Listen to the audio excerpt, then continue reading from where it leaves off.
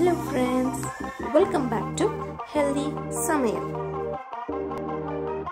Today let's prepare spicy dry fish gravy without adding tamarind. Soak dry fish in a water. Today I am going to use ribbon fish for making the dry fish gravy.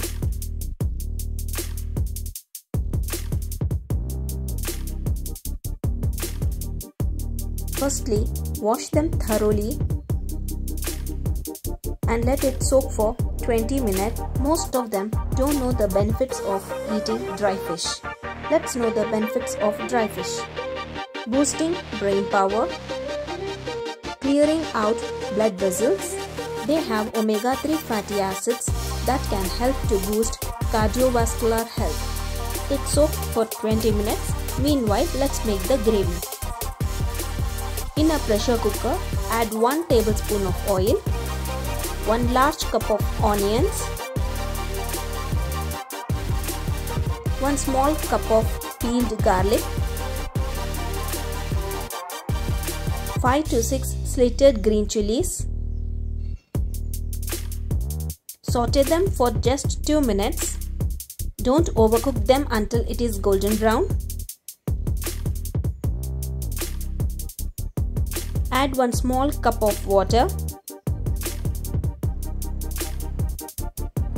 Don't add too much of water, just use as much as needed.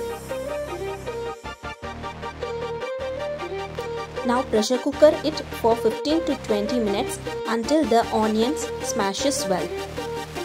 Now the onions has absorbed all the water and cooked very well. Smash the onions with a spatula Once the onions and garlic is blended well together, add salt to taste, pinch of turmeric powder,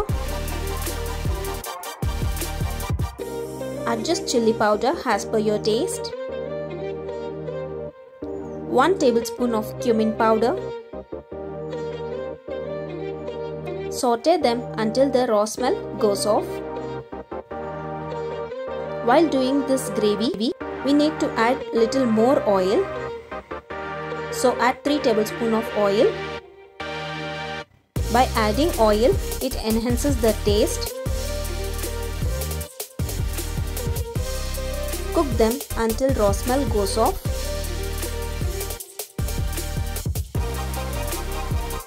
Finally, add 1 tablespoon of pepper powder. It's completely optional.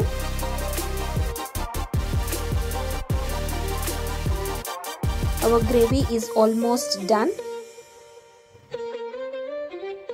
So now it's the time to add the soaked dry fish. Let's add them into the gravy.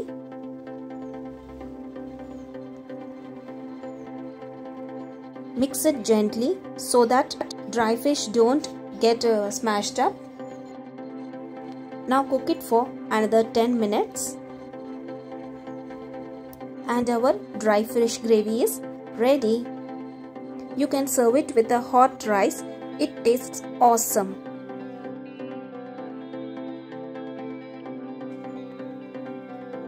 Our hot rice is ready. Just add 1 tablespoon of gingerly oil. Serve it with spicy dry fish gravy.